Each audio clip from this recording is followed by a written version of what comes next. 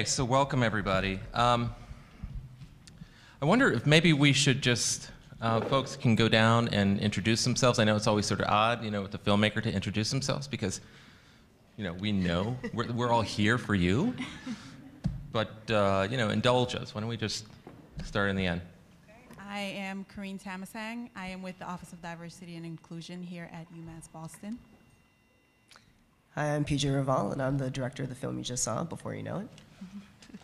My name is Sammy Sass. I work at the Fenway Institute, which is part of Fenway Community Health Center, and I'm a member of the Massachusetts LGBT Aging Needs Assessment Coalition.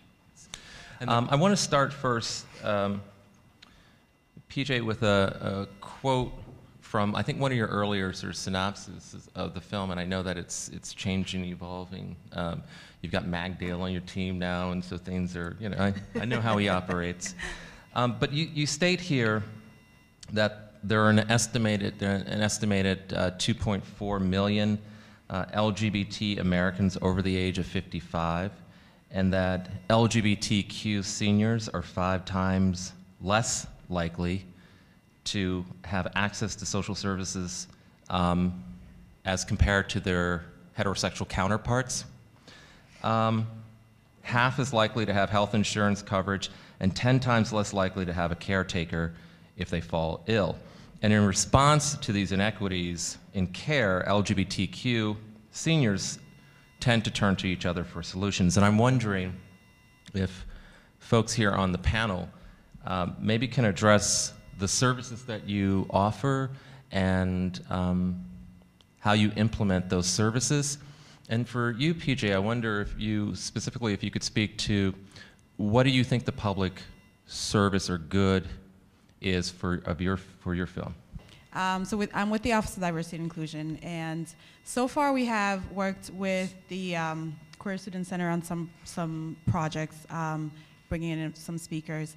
We are looking to work with our Osher um, Institute for Lifelong Learning. Um, they have a LGBTQ group with that, and we're looking to work with them on uh, getting some programs together and services that they have and kind of pulling together because we do realize that we have a large uh, population of elderly students here at UMass Boston. Um, being able to include them in some of the things that we do or have activities for them is something that um, we haven't gone into recently, but that's a discussion that we recently started having out of some of the dialogues, uh, diversity dialogues that we've had on campus. So we're looking to move more into that.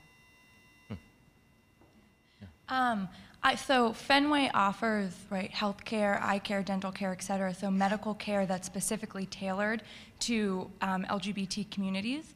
And I also uh, work really closely with Lisa Krinsky and Bob Linscott from the LGBT Aging Project, who many of you probably are familiar with. And that's an organization that does training for service providers for LGBT older adults and going into um, assisted living facilities or going into meal sites, talking to ASAPs, which are the folks who provide um, Meals on Wheels and meal sites, et cetera, and talking about a, a, some, an example that Lisa uses really often is she'll go into a group of providers and she'll say, Who here has ever worked with an LGBT person before? And no one raises their hand. And she's like, all of you have and you don't know it and and so that's part of the training um, that they give and so i work very closely with them so i want to speak on their behalf also that they're a great organization okay great and in terms of how does the film benefit this this community and sure. your, your, your, vantage point um, for me i discovered those statistics um, when i first started researching for the idea of this film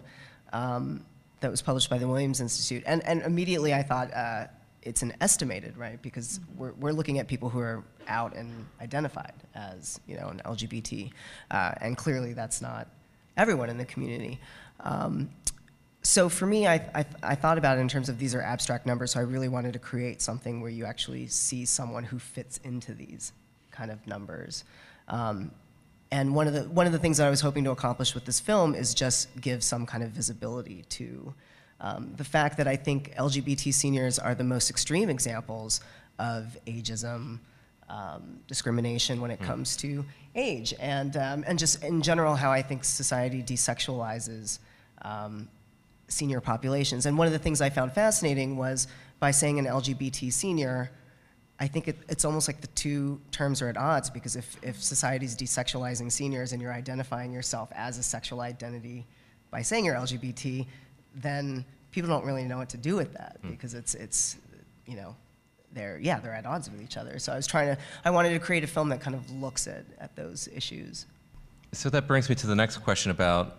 Um, I'm curious. Uh, that's sort of, so we've talked about sort of like our, our professional sort of investment um, in these issues um, as filmmaker, as ally, but what about the personal?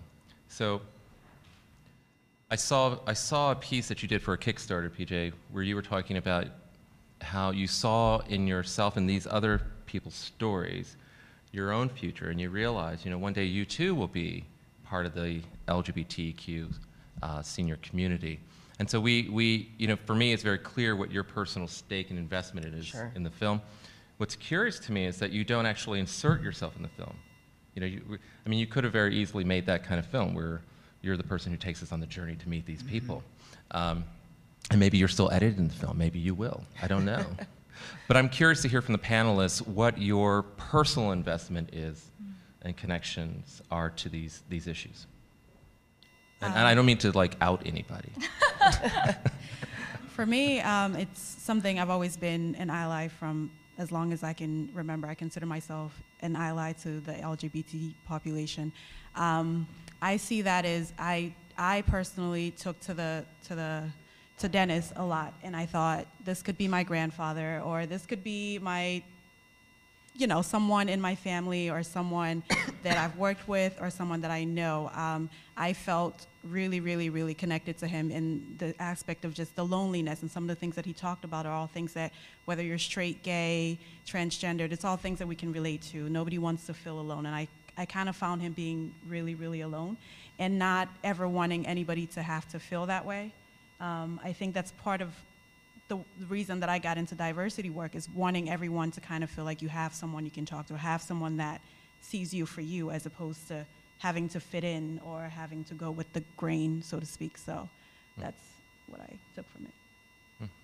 And for me, the film was actually inspired by several several things, several events, but one in particular um, was actually my mother. You know, and uh, my you know I had started getting into these conversations with my mother about her getting older and her thinking about at, at the time, you know, retirement and just kind of the challenges I think emotionally you know, uh, financially, everything in terms of in terms of the aging process. So I did start thinking about um, how I'm not thinking about it, you know, and then that kind of put me a little bit on the path of why don't I think about it, and what are the fears with thinking about um, yourself as an aging being, right? Um, simultaneously, before I started making this film, I was actually volunteering to teach uh, queer youth uh, filmmaking.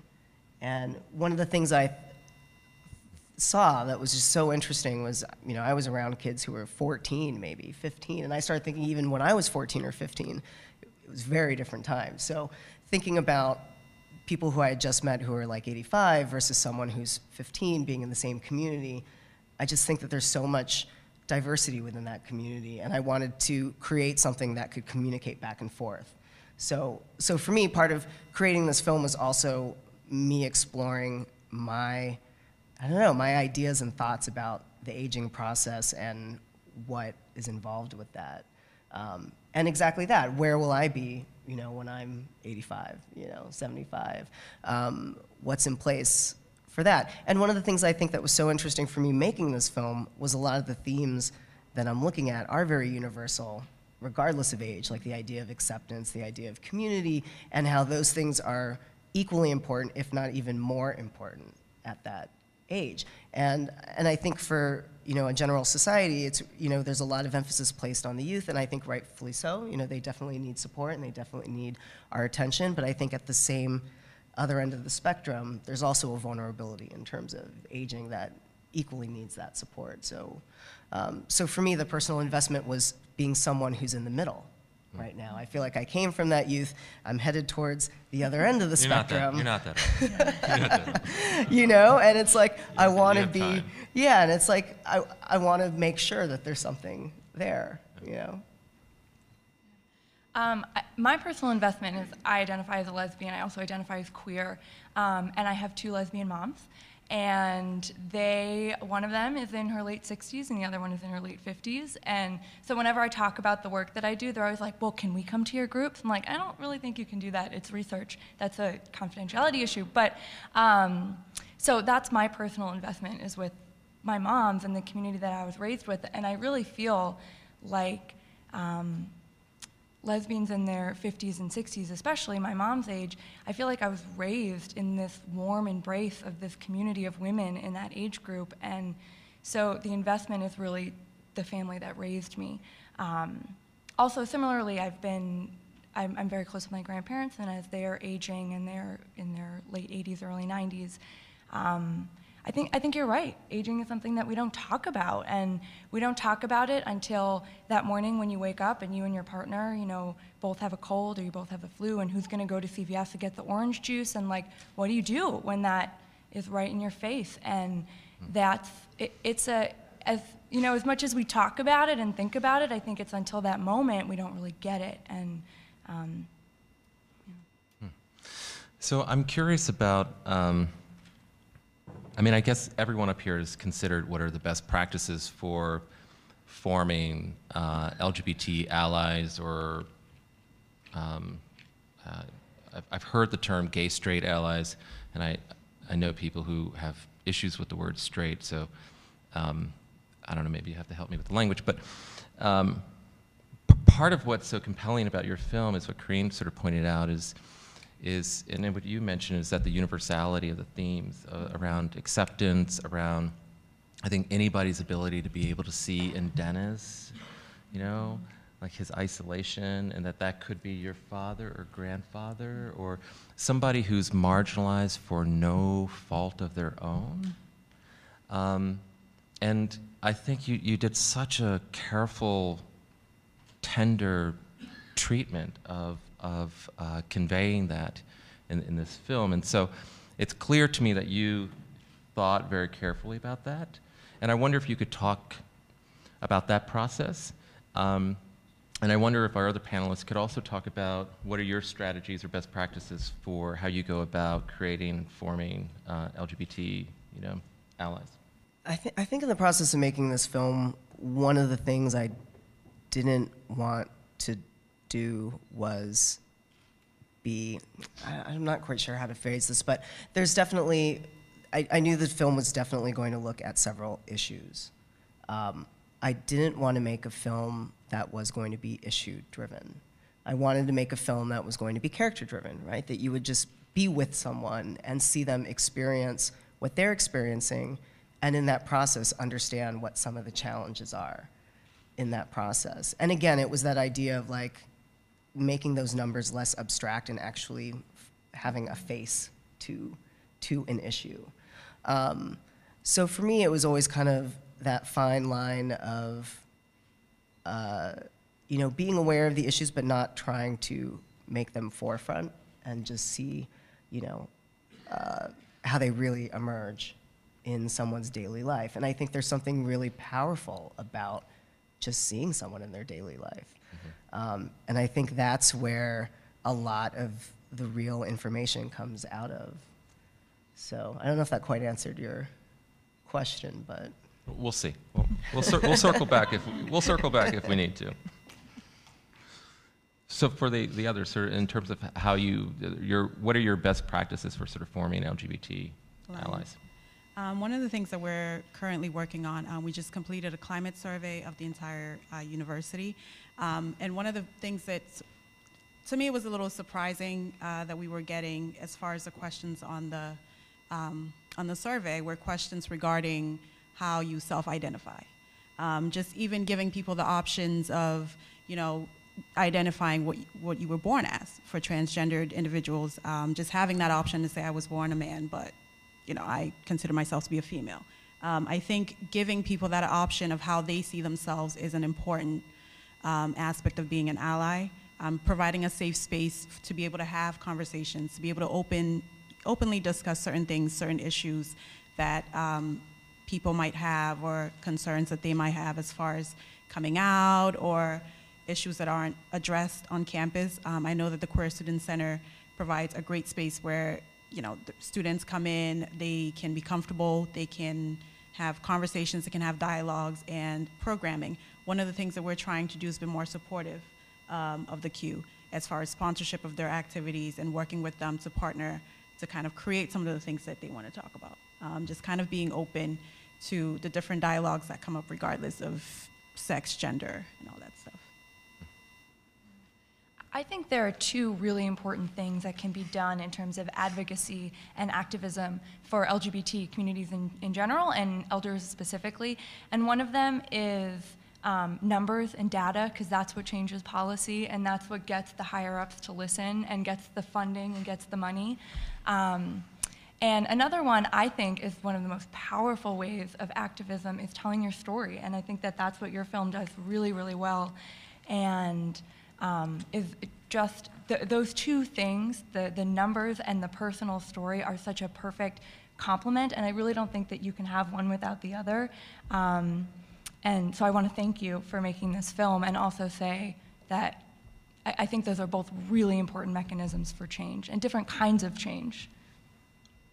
I agree. And I think it's one thing to see the story of three people, it's another thing to see a statistic which has a huge amount, Right. like a huge amount, because you would never, I mean, I think some people have already watched this film, and when mm-hmm. the, you know, in the end credits, I have it dedicated to the estimated 2.4 million. And I think it, it surprises a lot of people because they haven't thought about it. So I think it is important to see both. Uh, So, um, so PJ, I, this is a question for you that's um, has more to do with how you identify as a filmmaker. Sure. So, you know, every, every filmmaker belongs to some group, you know, black or, you know, women or Asian or whatever it is. And the filmmakers that I know, myself included, I sort of really, really wrestle with both wanting to tell stories that reflect, you know, my experiences, my identity, my community, um, and at the same time, not wanting to be solely defined or reduced to being defined as a black filmmaker or a fill-in-the-blank filmmaker, you know, but just the right and the respect to just be a filmmaker. I'm curious about your process. Do you wrestle with that? Um, I, you know, honestly, not really. I think Okay, it's just me. All right, No, let's no, move no, on to the next I- question. I think it's. I think partially. I, I mean, usually when people ask, like, "Well, what kind of films do you make?" I usually say, "Oh, I make a lot of independent and queer films." It's how I usually describe it, and I I almost see them going hand in hand, like those those concepts. And I think maybe that's why I'm comfortable with it because I love the idea of saying I'm an independent filmmaker in the sense of I'm not, I'm not asking permission from anyone to make a film. I'm just going to make it, you know. And I feel for me, that kind of bleeds into the same idea of like a queer identity. It's like I'm not going to compare myself to something. I'm just going to tell you this is this is how it is. Um, and and so for me, that struggle there, it's interesting because I think um, a lot of the times people will ask me, "Oh, well, are you making films for queer audiences? Are you making films for LGBT audiences?" And I say, "Yes, but I'm making films for all audiences." Right? Because I because I do think there is something that everyone can take away from it. Um, whether it be something that no one, you know, for someone to see that they haven't, you know, seen a person like this or thought about it, or someone who is in that community but hasn't thought about it in that way, um, or I don't know. I- and if anything, I think there's actually an added benefit to it because I think there's additional interest uh, that can be placed on the film. At least that's the way I would like to think about it. Right? I would love to think that everyone in the world is interested in seeing LGBT content, and everyone who's LGBT, you know, would love to see the content as well. So I'm going to take it from that position, and I think a lot of that has to do with considering myself an independent filmmaker. You know, I have to ultimately please myself as well as other people. So here, here's the um, last question I want to ask you, and then I want to open it up to the audience here, who I know is r- really uh, anxious to, to ask you some questions. Um, but PJ, I, I, I don't know if you realized it, but you are on a panel with, you know, myself excluded here as the moderator, with women, right? And which is also something that is absent from your film. And I mean, in terms of sort of a, a, a, a dominant voice, Yeah. right? And I'm sh- I, I don't you know I understand how these things work. Maybe you were working with someone and it didn't work out, or you tried and it didn't work out, or you just you, you know you just said, "This is what I want to do. This is what sort of compels me." I wonder if you can sort of address that, and I'm also curious about the panelists, um, what your take and observations are. Like, I mean, that must have been something that stood out to you, and as policy make people who are sort of trying to influence policy and you're looking for material that you were talking about the, the you know the numbers and the data are what get you know the decision makers to move and the personal story if you're presenting a personal story that is devoid of having that sort of representation Mm-hmm. is i'm curious what your reaction is to that as well Sure. Um, for me, when I when I started finding the characters for the film, um, I pretty much cast a wide net. At first, I you know I wasn't looking for anyone in particular. I just wanted to go out there and meet people in the community and see who would ever pique my interest and for whatever reason start filming them. Um, and the way that the film unfolds is actually the way that I met each of the characters. So the very first character I met was Dennis. Um, and I met him, you know, the same way. I, I found him at Rainbow Vista and discovered Rainbow Vista the same way he did. Um, was through the internet and found him there, um, and then quickly began filming him in Florida. Um, and from that point on, I knew that I wanted to make a film with more than one character. Um, and, and there was a lot of interest in terms of should there be, you know, a lesbian character? Should there be a trans character? Should, you know, there's so many possibilities. And I think as a filmmaker, I personally come from the point that I think it's impossible for me, um, and nor am I actually interested in creating a piece that speaks for an entire community. I don't think it's possible.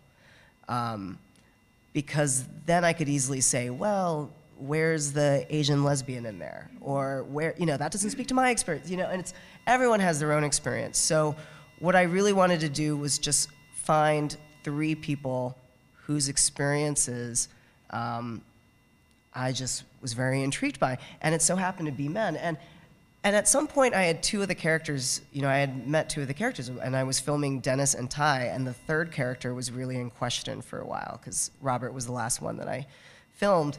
Um, and I did, I wrestled with it again, and then when I found Robert, it made sense to me.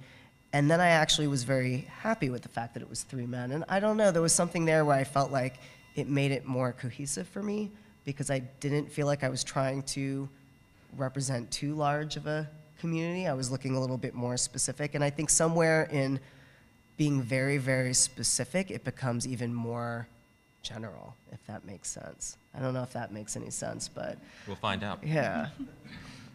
Um, for me, I didn't really see it as being sort of abnormal because for my, from the um, the lesbian, gay uh, stories that I have heard my life throughout my life have been female oriented. So I'm used to hearing the the female side of side of the story. Um, so getting the male perspective, I thought to me was a little bit more enlightening for me. Um, I don't know if this is true for everybody, but I, I tend to find that as far as you know, sex is concerned or sexual things of a sexual nature, you hear more of the female side of it, and that seems a little bit more. I don't want to say accepted, but it seems a little bit more normal. So than say on the male side of it, um, you know, when uh, I forget who was talking about the sexual revolution. Um, at the time, like when you see images of it and you see people talk about it, you see a lot of women.